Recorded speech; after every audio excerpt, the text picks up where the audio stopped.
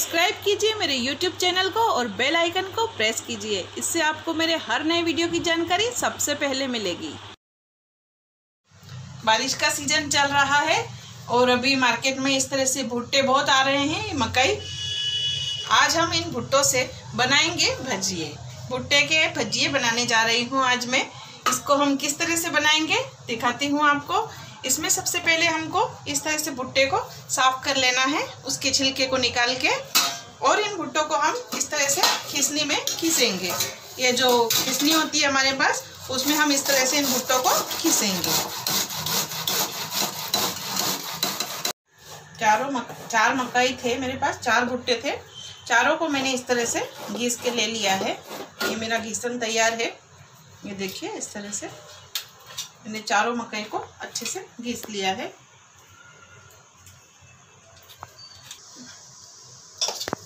ये भुट्टे को इस तरह से खींच के मैंने एक बर्तन में निकाल लिया है। अब हम इसमें डालेंगे कुछ मसाले। पहले इसमें थोड़ा बेसन मिला देते हैं, बाद में इसमें मसाले।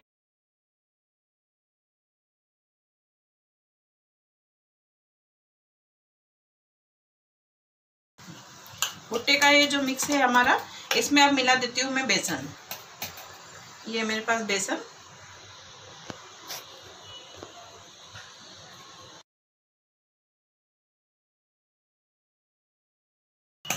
जितना हमारा भुट्टे का बेटर भुट्टे का किसन होता है, उतना ही हम लगभग इसमें बेसन डालते हैं। मेरा लगभग तीन कटोरी जितना भुट्टे का किसन था, उतना ही मैंने इसमें बेसन भी डाल दिया है। ज़रूरत है तो आप इसमें थोड़ा पानी का यूज़ करेंगे। ज़रूरत नहीं है तो पानी डालने की कोई ज़रूरत नहीं है आपको इसमें। बेसन को मैंने इस गुट्टे की किसन में अच्छे से मिक्स कर दिया है इस तरह से। अब इसमें डालेंगे हम कुछ मसाले। यहाँ पे मैंने लिए गए एक चम्मच भर के सौंफ, जिसको मैंने बड़ा बड़ा कूट लिया है, वो इसमें डालेंगे।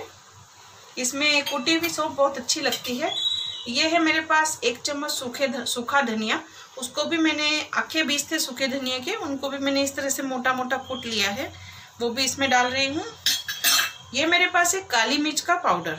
पाउडर नहीं है, थोड़ा मोटे मोटी कुटी हुई काली मिर्च है। दस बारह काली मिर्च थी, जिनको मैंने मोटा मोटा कूट लिया है। वो भी मैं यहाँ पर इसमें डाल रही हूँ। इसमें थोड़ी सी हल्दी की ज़रूरत होती है। ज़्यादा हल्दी नहीं डालते इसमें। इसमें मैंने थोड़ी सी, एक दो चुटकी जितनी हल्दी ली है, वो भी मैं इसमें डाल रही हूँ। अब यहाँ पे इसमें डालती हूँ लाल मिर्च पाउडर। ये मैं आधी में, आधी चम्मच लाल मिर्च का पाउडर डाल रही हूँ इसमें। आप अपने स्वाद के अनुसार थोड़ी और भी ले सकते हैं। अब यहाँ पे मैं इसमें डालूँगी हरी मिर्च। ये है मेरे पास चार हरी मिर्च।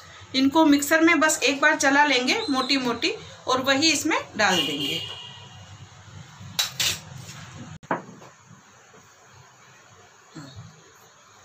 ये हरी मिर्च का पेस्ट मैंने तैयार कर लिया है।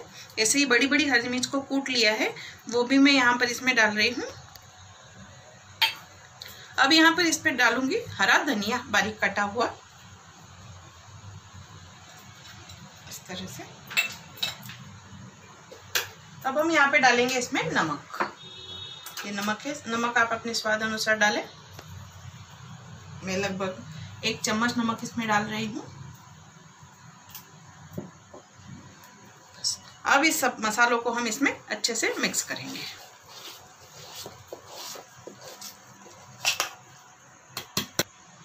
यहाँ पर इस बेटर में मैं डाल रही हूँ एक चम्मच शक्कर। थोड़ी सी शक्कर इसमें अगर रहती है तो बहुत अच्छे लगते हैं। ये मकाई के भुट्टे बजिए अगर आपको नहीं पसंद है शक्कर डालना तो शक्कर के बिना भी बनाए जा सकते हैं। इस तरह से अब हम इसमें शक्कर को भी अच्छे से मिक्स कर देंगे। और इस बैटर को हम थोड़ा सा आठ दस बार इस तरह से फेंट लेंगे। फेंटने से हमारे भजिए बहुत सॉफ्ट बनेंगे और बहुत अच्छे बनेंगे। तो आप भी इस स्टेप को ज़रूर फॉलो कीजिए। इस तरह से जब हम फेंट लेते हैं इस बैटर को तो हमारे भजिए बहुत सॉफ्ट बनेंगे। ये देखिए, यहाँ पे मेरा बेटर तैयार है। अगर आपको इसमें ज़रूरत लगे तो आप पानी का यूज़ कीजिए, वरना ऐसे ही बना सकते हैं। हमारे यहाँ पे ये अमेरिकन कॉर्न आते हैं। इनमें बहुत पानी होता है, इसलिए इसमें अलग से पानी की ज़रूरत नहीं है। इसलिए मैं नहीं डाल रही हूँ। अगर आपके भुट्टों में मॉइस्चर थोड़ा कम है और पानी की ज़रूरत है तो आप पानी का यूज़ कर सकते हैं। इसकी कंसिस्टेंसी हमको इस तरह की चाहिए। ये देखिए, इस तरह की। अब हम बनाते हैं इसके भजिए। हैं भजिए फ्राई तेल मेरा गर्म हो गया है। इस तरह से मैंने थोड़ा सा डाल के टेस्ट किया। अब तेल हो चुका है गरम। इसके लिए हमको अच्छा गरम तेल चाहिए भजिए छोड़ने के लिए।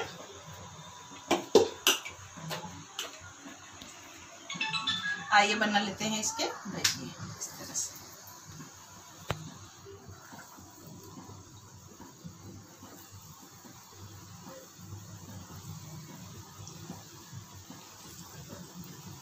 से आप गोल गोल भजिए छोड़ते जाएँ। तेल में।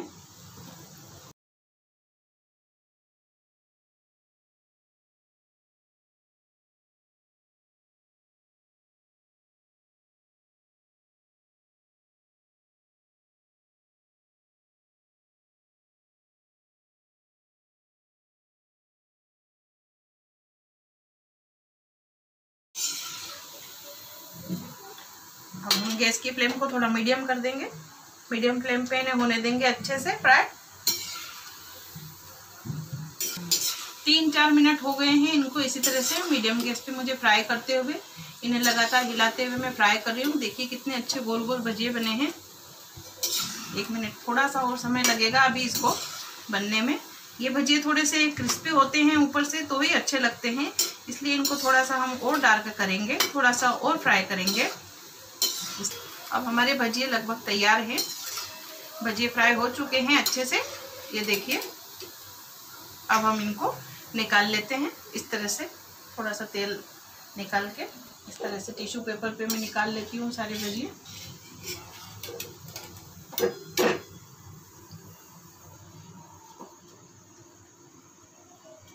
और भजी इसी तरह से फ्राई कर लेते हैं।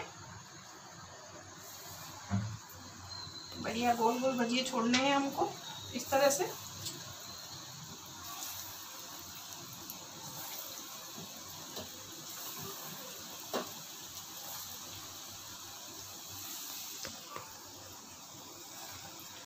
देखिए, मैं कढ़ाई में मैंने पूरे जितना तेल था, इतने सारे भजिए छोड़ दे हैं, छोड़ दिए हैं। अब इसमें क्या है, एक साथ अगर हम इस तरह से सब भजिए एक साथ छोड़ देते हैं पूरे तेल में तो हमारे बहुत सारे भजिए कम तेल में ही फ्राई हो जाते हैं। इस तरह से, ये देखिए, जब भी आप भजिए फ्राई करें, तब इस तरह से बीच में जगह ना छोड़े। जितनी भी जगह होती है, वो पूरी जगह इस तरह से भजिए से भर दें, ताकि क्या है, आपका कम समय में ज़्यादा भजिए एक साथ फ्राई हो जाएँगे। ये देखिए, हमारा दूसरा बेज भी फ्राई हो गया है भजिए का। इस तरह से, देखिए।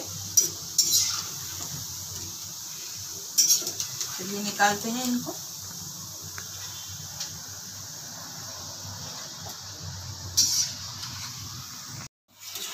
ये सारे भजिए फ्राई हो गए हैं। अब इन सबको निकाल लेती हूँ एक साथ। ये देखिए।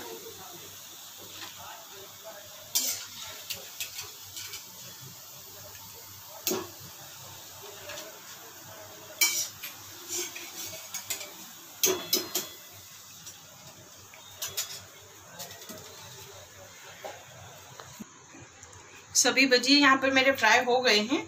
ये देखिए, कितने अच्छे भजिए बने हैं, एकदम गोल गोल, मस्त सॉफ्ट और बाहर से जितने क्रिस्पी हैं, उतने ही अंदर से एकदम सॉफ्ट है। ये देखिए, बहुत अच्छा टेक्सचर है भजिए का। बहुत टेस्टी तीखे, मीठे, चटपटे, बहुत बढ़िया भुट्टे के भजिए बनकर तैयार हुए हैं। आप भी अपने किचन में इस तरह से भुट्टे के भजिए ज़रूर बनाएँ और फैमिली के साथ एंजॉय करें। दिखाती हूँ मैं भुट्टे को, भजिए को सर्व करके आपको। तीखी और मीठी चटनी के साथ सर्व किए हैं मैंने इस तरह से भुट्टे के भजिए। बारिश के सीज़न में ये बहुत अच्छे लगते हैं। मीठी चटनी का लिंक मैं डिस्क्रिप्शन बॉक्स में दे दूँगी। आप वहाँ से देख सकते हैं मैंने किस तरह से मीठी चटनी बनाई है। और हरी चटनी, अपनी साधारण चटनी है हरी, जो हरे धनिए, नींबू और हरी मिर्च से मैंने बनाई है। आप अपनी फैमिली के साथ बनाएँ, खाएँ और एंजॉय करें।